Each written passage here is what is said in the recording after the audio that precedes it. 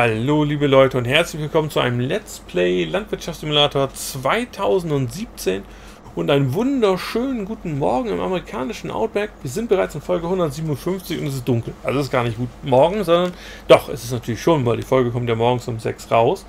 Aber äh, ne? wir sind hier gerade in unserer Nachtschicht und stellen gerade fest, dass der Streudünger die eins erledigt hat. Das heißt, wenn ich den natürlich als allererstes nehme, ihn hier schön oben die Straße lang bügeln lassen. Und äh, ja, dann werden wir die untere Hälfte der 8 noch machen von der Minimap gesehen, weil die ist auch noch nicht gedüngt. Die 1 und die 20 sind jetzt mit ihren Düngephasen durch.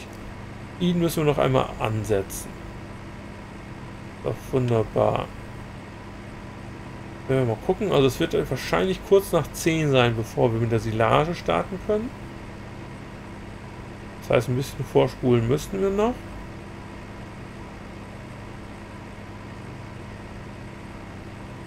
Und dann ist auch die Frage, wie viel Milch wir in der Zwischenzeit dann haben und so. Also schon spannend. Ja, dass wir in der Nacht- und Nebelaktion quer über unseren kleinen Parkplatz hier fahren. Tata, Mahlzeit, da bin ich schon. So, schön einmal rüber geschmettert. Hier hin. Ja, das ist unser Feld, die 8. Aber die obere Hälfte ist schon gedüngt. Untere Hälfte, das ist die, die nicht gedüngt. Da fehlt noch eine Ladung sozusagen. Und da setze ich jetzt mal an und dann wollen wir mal gucken, ob in der Mitte ein kleiner Rest bleibt, den wir mit der Hand machen müssen. So. Ja, das macht er auch wunderprächtig. Ist der Part schon mal gut durch. So, jetzt wollte ich hiermit die Fräse holen. Das hatten wir auch gesagt. Und fahre natürlich gleich in die falsche Richtung, weil die Fräse ist hier vorne. Ich Witzbold. So. Macht natürlich was. In die Toilette da fahren. Nein. Ich äh, muss mein Gewicht vorne absetzen natürlich.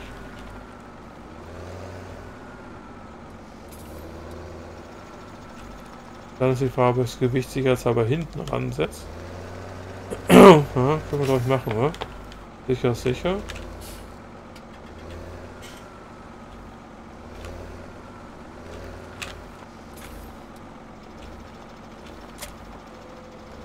So, und jetzt die Fräse passend dazu vorne. Da haben wir das gute Stück schon. Da haben wir auch die Fräse vorne. Man sieht, die Fräse hat auch eine Beleuchtung, was eine schöne Geschichte ist. Und jetzt fahren wir mal hier vorsichtig an unseren Kollegen vorbei. Ich habe den LKW, ach, das heißt den LKW, ich habe den Clipper ja schon so gestellt, dass wir von der Seite hier aus ranfahren können. Ne? So. Dass man hier im Prinzip loslegen könnte steige jetzt hier aber nochmal aus. Wir müssen mal gucken, weil es fehlen, glaube ich, noch ein paar Prozente. Ja, 13, um exakt zu sein. So, gut. Ja, was haben wir noch? Ähm, ja, Milchbestände gucken. Tiere. 6000, ne? Es ist noch keine volle Lieferung zum Verkaufen. Das ist okay. Die sind noch bei 90%. Dann würde ich sagen, schauen wir noch mal tatsächlich in den Shop gehen zu Castor Food und wir brauchen den Viehtransporter, den wir hier sehen. So, mit dem Viehtreibwagen, wie er hier beschrieben steht, können wir halt dann unseren äh, unser Vieh dementsprechend rüberbringen in die Schlachterei und den brauchen wir dann, um äh, das fertige Produkt abzuholen. Ich weiß gar nicht mehr, wo war denn auf der Karte eigentlich der Verkaufspunkt dafür. Aha, so, das war hier mit der Milch. Da bei der Abnahmestelle. Da haben wir den Verkaufspunkt für die Fleisch- und Wurstgeschichte. Okay. Das ist unser neuer Unterbau übrigens. Also hier ist unsere neue Unterstellung. Deswegen stehen die Geräte hier. Hm? Falls euch das auffällt, da steht das gute Zeug. So, nee. Ähm, Shop. Wir machen ihn hier auf. Nehmen den Viehtransporter. Den brauchen wir ja. Da geht nichts dran vorbei, weil ohne den funktioniert das Ganze nicht. Und Kaschum ist unser Geld weniger. Und äh, das ein Zentrallager. Oh, das hat eine ziemlich hohe Kapazität. Eine Million. Das hat nur 45.000. Das heißt, wenn ich 10 von davon nehme, hätte ich nur 450.000. Das heißt, irgendwann sollte man sich theoretisch irgendwo ein Zentrallager hinklemmen. Naja, okay. Äh, ja, erstmal haben wir ihn jetzt gekauft. Was wir natürlich noch bräuchten, damit wir den überhaupt auch transportieren oder bewegen könnten. Wir halten LKW. Ich finde den hier nicht schlecht. Was hat der? 420 PS bei 65. Ich muss allerdings zugestehen, dass ich die kleinen hier auch gut finde.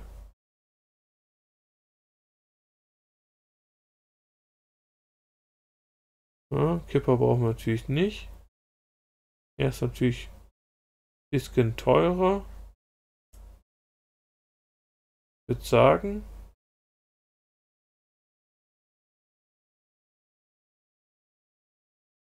Ich würde sagen, ich würde sagen, ich würde sagen, ich guck mal. Vielleicht finde ich ja noch eine andere schöne Mac-Variante oder sowas. Also wir haben den, den Viehtransporter schon mal gekauft. Der ist also echt nicht klein.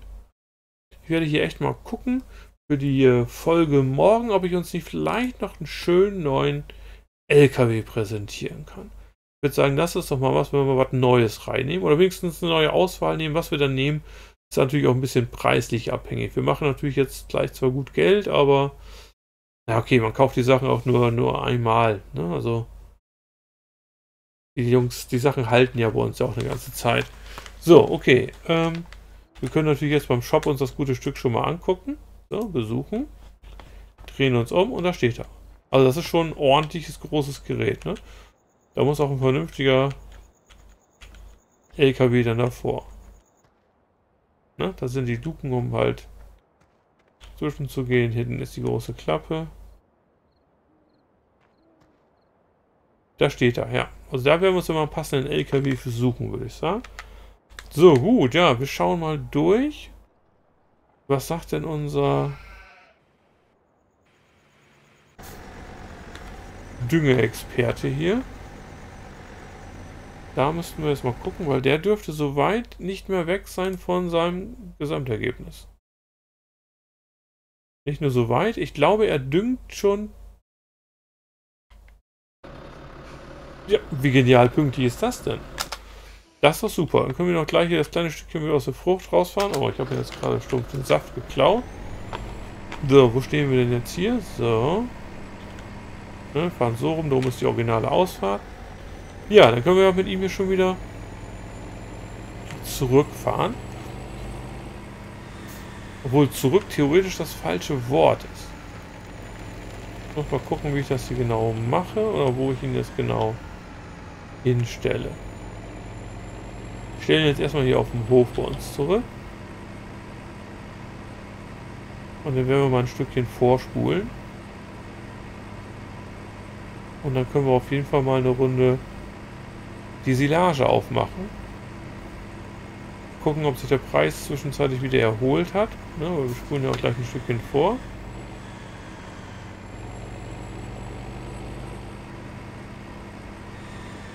So.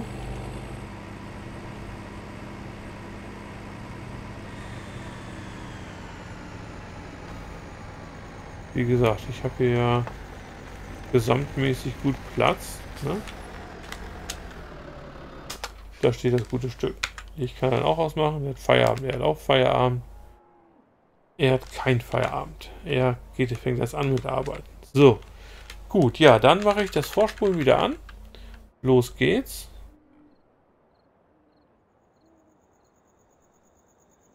Was man natürlich dann auch gucken kann, wenn die Minuten jetzt vorweg sind wie es mit der Milch aussieht. Ja, seht selber 97% gleich ist Spaß durch. Silos fermentiert.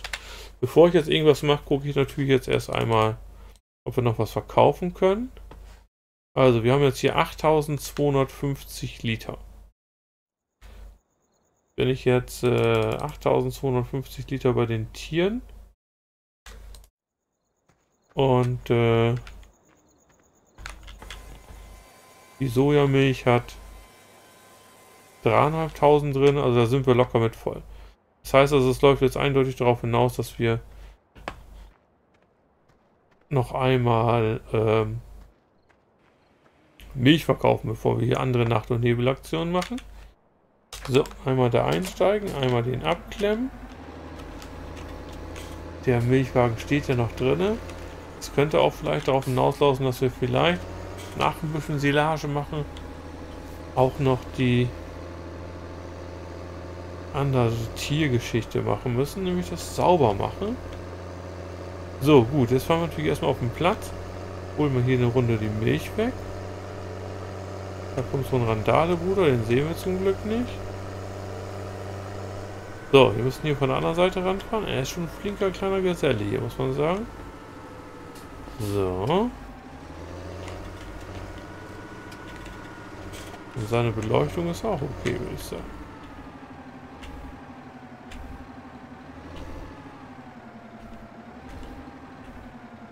Ankoppeln und laden.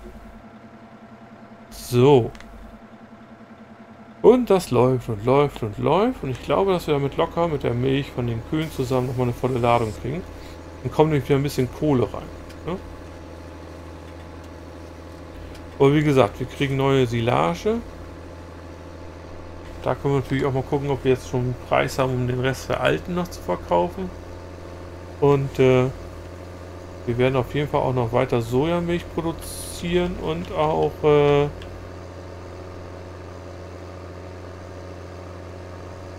und vor allen Dingen auch Treibstoff durch Biodiesel, weil wir ja unser Dings ganz voll haben. Unser Feld 8 ist ja komplett voll nur mit Raps.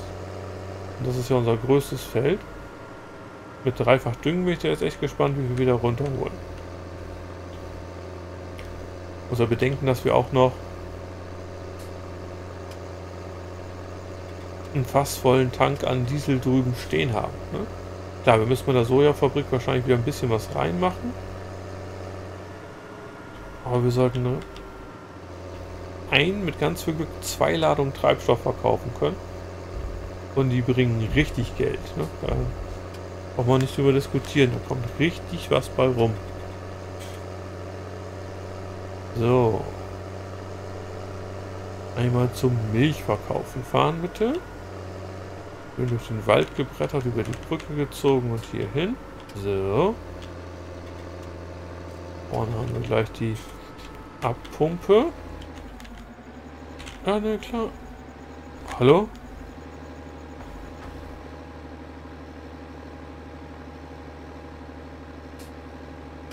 Also er bewegt sich leicht rückwärts, deswegen mache ich das jetzt hier noch. So. War ich jetzt dran vorbei? Ja. War natürlich nicht ganz so geschickt von mir, gestehe ich zu. So. Äh, ja, ich mache mal auf Abwupp. Ach, ich... Ja. Man sollte nicht schlagen, ne? Ich habe natürlich das, das, das Milch von den Tieren überhaupt nicht geholt. Ne? Wir verkaufen jetzt also nur, eine, nur die 22.000 Liter aus der Sojamilchfabrik. Ja, was ich euch noch zeigen wollte, ist dieser freundliche kleine Punkt hier. Weil das ist der Verkaufspunkt für unsere Fleischgeschichte. Das wird hier auch also weiter transportiert und äh, geht in Zug oder was weiß ich wohin. Ja, das wird natürlich jetzt einmal eine kleine Verkaufsaktion nur. Ist aber nicht so wild, weil wir für Milch ja eh einen Festpreis haben. Wollte möglichst halt nur mit vollen Tanks fahren, aber ja, ist mir nicht gelungen und wir haben also auf jeden Fall am frühen Morgen nochmal eine komplette Ladung ohne Probleme, weil wir einfach äh, bei den Tieren das gar nicht weggeholt haben. Tja. So sieht das aus, ne?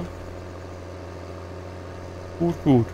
Ja, einen Blick zur Silage werfen, ob der Preis sich wiederholt hatte. Wir hatten ja letztes Mal für knapp über 1400 verkauft. Damit war es in die 1100 abgesackt und hat uns sogar rot angezeigt. Unsere 1400 waren ja auch nur weiß. Aber wir müssen auf jeden Fall was davon verkaufen. Dann fahre ich hier lang. Auf jeden Fall was davon verkaufen, damit wir äh,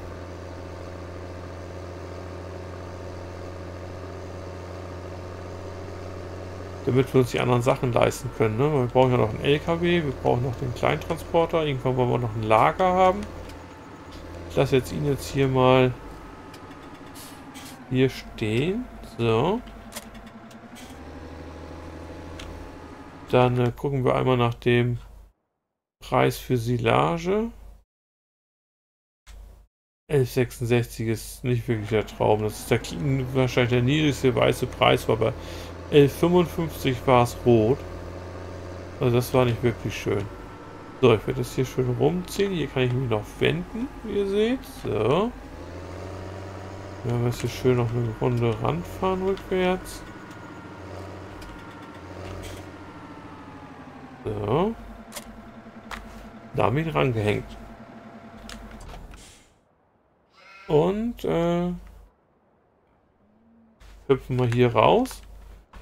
Und drücken R und da haben wir das Sido-Zeug rausgenommen. Wenn ich jetzt die Hilfe anmache, dann sehen wir selber 714.000 Liter. Das ist natürlich mehr als reichlich und äh, ja, da freue ich mich drauf. Da können wir gut Kohle draus machen und gut unsere Tiere versorgen. Ja, aber wir sind schon wieder am Ende der Folge. Dann sage ich vielen, vielen Dank fürs Zuschauen. Hoffe, dass es euch gefallen hat. Würde mich sehr freuen, wenn ihr beim nächsten Mal wieder mit dabei sein würdet. Wenn es euch gefallen hat, wäre ein Daumen nach oben toll, ein Teilen wäre toll und natürlich auch wäre ein Abo super. Bedanke mich auch bei all denen, die es getan haben schon und wünsche euch noch einen wunderbaren Resttag. Tschüss.